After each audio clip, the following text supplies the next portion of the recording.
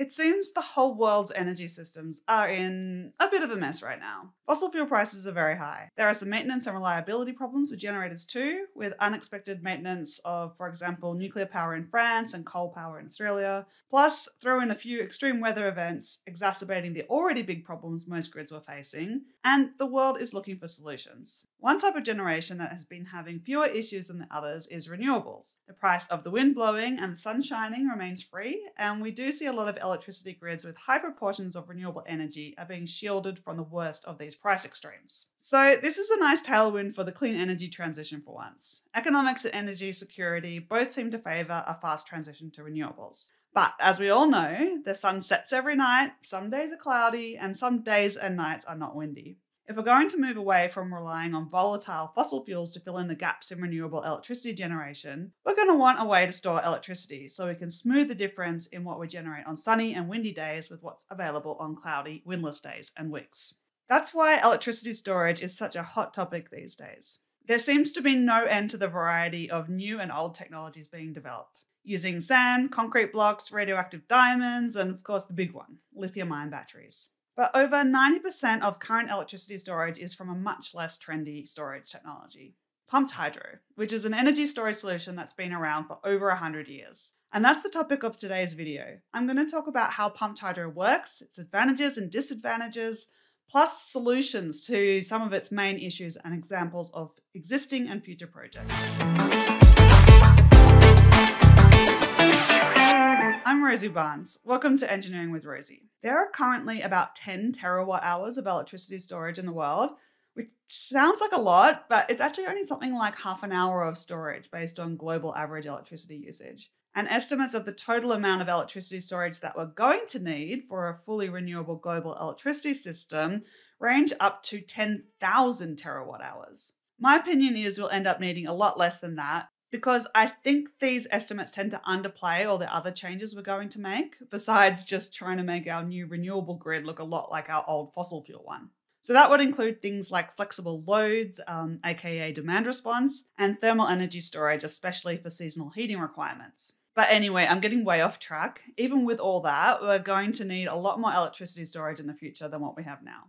And when most people think of electricity storage, I think that they're thinking of lithium ion batteries. And if we go with that high estimate of global energy storage needs, 990,000 terawatt hours is a lot of batteries to add. Probably an implausibly large amount, in fact. It's more than 300,000 times the world's current total. So Lucky we've got pumped hydro to help. So, what is pumped hydro and how can we store electricity in this way? You're probably already familiar with normal hydroelectricity, which is a way of converting the gravitational potential energy of water into electrical energy. This happens when water from a higher elevation is allowed to flow down to a lower elevation. The falling water turns a turbine which generates electricity. Traditionally, this was done by either putting a turbine in a river and getting electricity whenever the river's flowing, or by damming a river at high elevation and then allowing water to flow through a turbine located at a lower elevation whenever you want electricity. Pumped hydro simply takes a regular hydro system's reservoirs, pipes, and turbines and adds a pumping capability to reverse the process. So you allow water to fall through the turbine when you want to generate electricity, and when you want to store it, you can power a pump and get the water back up to the top. To calculate the amount of energy available in the dam, we use the equation for gravitational potential energy, mass times gravity times height. This will give the total energy in joules, which you can convert to megawatt hours or gigawatt hours or terawatt hours for more familiar units used in electricity supply. And to calculate the power, you need to divide energy by time. It's the same equation as in any kind of gravity based energy storage system. And I covered a bunch of the non hydro types of gravity energy storage in a live stream a little while ago. These all involve hauling heavy blocks up to a height to store potential energy. So you can check that out at this link. To increase the amount of energy stored, you can either increase the height, which for hydro is known as the head, or you can increase the mass, which for hydro is the volume of water stored times its density. Generally, water is free, so the cost of additional energy storage is simply the cost of making the dam wall a little bit higher. This is a cheaper way to add energy than by, say, adding more concrete blocks to a non hydrogravity energy storage system, or in the case of a battery, you need to add more cells in parallel. And to increase the power of a hydro system, you can either add more pipes and turbines or increase the size of the pipes and turbines. So, as a rough guide, adding power to a hydro system is expensive and adding energy is cheap. This is kind of the opposite of a lithium ion battery. So, if we just consider for now these two technologies, lithium ion batteries suit high power, short duration storage needs, and pumped hydro suits long duration storage needs. Currently, most electricity grids are still getting their long duration storage needs met by coal or gas. Fossil fuels, of course, can just sit there until you want to burn them.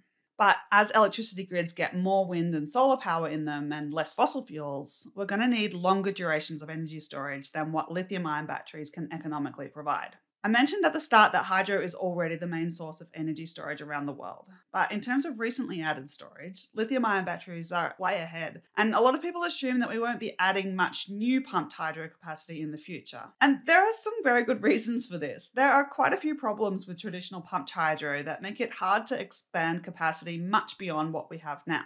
Problem number one is financial. And this topic is slightly confusing because if you look at cost estimates for batteries and pumped hydro, you'll find that pumped hydro often comes out the cheaper option. But reducing the cost of electricity storage to a single number really misses a lot of important detail that matters when you're trying to choose which storage technology you need for a specific purpose. One aspect that's easily missed is that the upfront cost of pumped hydro projects are usually huge, and payback occurs over the extremely long lifetime of a pumped hydro project. Dams just last for a really long time.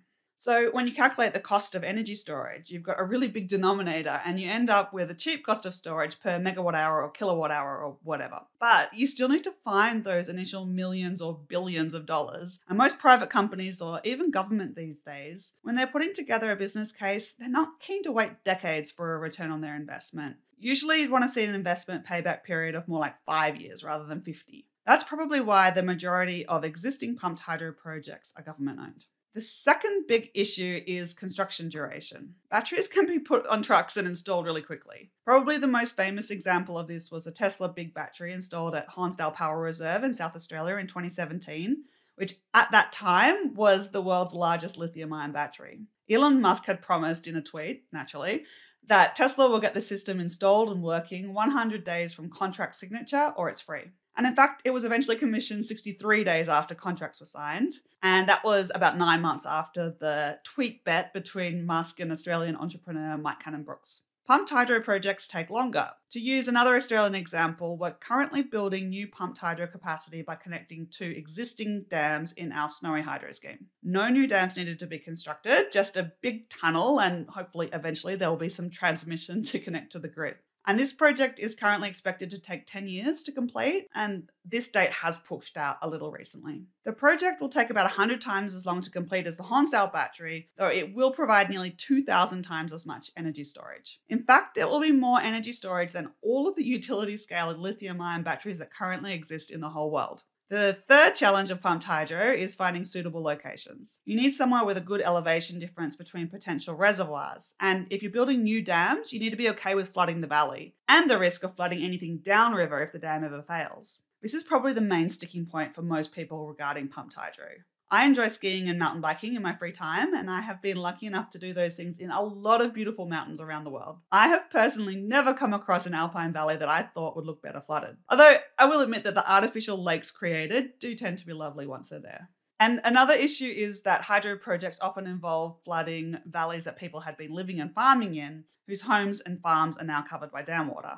I'm an energy transition engineer, and I'm okay with the idea of sometimes compromising local amenity for global solutions. However, this is a huge problem for new hydro projects. I think it's very hard to get community acceptance for any big new projects that involve flooding a valley to make a new dam. And without community acceptance, it's very hard to get anything big done. So, those are, in my opinion, the three main big challenges with new pumped hydro projects upfront cost, construction timeframe, and difficulty finding appropriate sites. But those are all problems with traditional hydro. And there are new ways of making a pumped hydro project that mitigate all of those problems. These new ways are off river and modular pumped hydro. Off river pumped hydro, sometimes referred to as closed loop, it's not yet common, though the technology components are all very mature. It just uses reservoirs, tunnels, and pump houses similar to what we've been using for over 100 years of traditional pumped hydro. There are a few existing major off river pumped hydro installations, including Presenzano, Italy, and Tianhuangping, China. Usually, the reservoirs are constructed from scratch rather than building a dam and flooding a valley. So it might be in a turkey nest dam, perhaps using a modular system to decrease cost and speed construction time. Or if you've got a gully at a suitable elevation, you can add an earth wall to hold water. And then there are a few proposals I've heard to use pits left over after mining has been completed in an area. There are a lot of advantages to the idea of off river pumped hydro. In many cases, the head can be two to five times larger than traditional on river systems because the upper reservoir can be on top of a hill rather than in a river valley. This is attractive because double the head equals double the energy stored, but the increase in cost is a lot less than double. Off river also means that minimal flood control measures are needed because the reservoirs can be deliberately placed away from watercourses that have enough catchment to cause serious flooding. And the big one, there can be greatly reduced environmental impact, as it usually doesn't disturb river flows and biodiversity. So, all of these factors can help to reduce cost and construction times. That's two of the three issues with traditional pumped hydro addressed. What about the third? Difficulty to find appropriate sites for new pumped hydro. That is also much less of a problem for off river pumped hydro than traditional. You no longer need to find rivers in steep terrain that you don't mind flooding, you just need to look for places where there is a decent amount of elevation gain over a fairly short distance. A good rule of thumb is that you need at least 100 metres of head to have a chance that the system can be cost effective. And as I mentioned earlier, since you're not confined to rivers in valleys, you can put the top reservoir on a hill, plenty of 100 metre high hills around. You might still be skeptical that there are many suitable sites around the world where energy storage is needed. When I'm working on energy storage projects, I regularly hear from people that pumped hydro isn't suitable in their region. The latest one was a comment just actually today on LinkedIn from someone in the UK saying they expected to need hydrogen for long duration storage as there weren't good sites for pumped hydro there. But it turns out that good potential sites are more common than you might think. Andrew Blakers' research group at the Australian National University have used geographic information systems analysis to automatically identify suitable sites around the world. They screened global GIS data to look for sites with possible reservoir pairs with a large elevation difference and small amounts of earthworks required to build the reservoirs and short tunnel lengths to connect them. Based on this, they found over 600,000 potentially feasible sites with a total storage potential of over 20 million gigawatt hours. According to their estimate of needed energy storage to support a 100% global renewable energy system, that's about 100 times more than the amount needed. Now, this is just a preliminary screening. They have attempted to avoid urban areas and environmental protection areas, but they haven't assessed who landholders are and whether they actually, you know, want to use their land for pumped hydro. And there will be other issues with some of the sites as well. Still, because there are more than 100 times the needed number of sites identified, that means we could choose the most appealing 1% of sites and have enough storage to support the whole global renewable energy system. And the geographic distribution of the sites is not too bad either. Most regions where people live have pretty good proximity to good potential pumped hydro sites. And if we look at the example of the UK that we were talking about earlier, you can see there are quite a few good sites there. When you look at the map, you can see a few bare spots though, and when you correct for population, you'll see that Western and Northern Europe, followed by Western Africa, have relatively small amounts of energy storage potential per million people. There's still more potential in those places than the about 20 gigawatt hours of storage energy and 1 gigawatt of storage power per million people that Blakers' group has estimated we'll need for a 100% renewable grid. But I would expect it's likely that these regions will want to connect their electricity grids to locations with more favourable pumped hydro potential. And of course, many of these interconnections already exist. So that's all the main issues with traditional hydro addressed. Why then are we talking so much about lithium ion batteries and not so much about pumped hydro? This is because of the stage we're currently at in the energy transition. With low amounts of variable renewable electricity in the grid, there are still a lot of fossil fuels available to fill in the long gaps in wind and solar generation, and so we currently only need to fill short gaps. And we heard at the start that lithium ion batteries are currently the cheapest way to do this. But as we move to more variable renewables in our grids, we'll need to add longer duration storage. So, are we starting to see this already?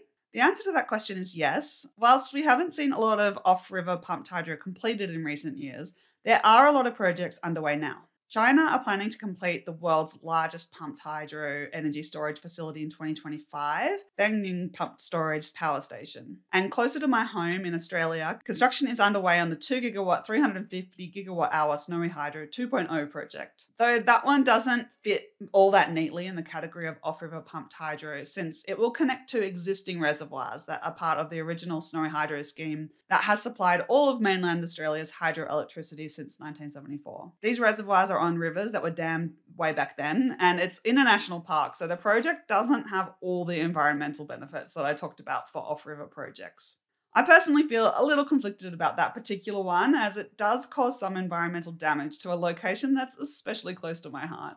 I may do a video on just that project because I think it's an interesting one to talk about local versus global environmental trade offs. So, those are huge government funded projects, but a lot of the potential for off river pumped hydro will be in projects small and simple enough that non government developers can take them on. And there are a number of projects like that in development. Some of the more advanced include K2 Hydro in Kidston, far north Queensland. It's a 250 megawatt, 2 gigawatt hour project, which just started construction in May 2021 with completion expected in 2024. And Lewis Ridge is an off river pumped hydro project currently under development in Kentucky, USA, that recently received its permit in January 2022.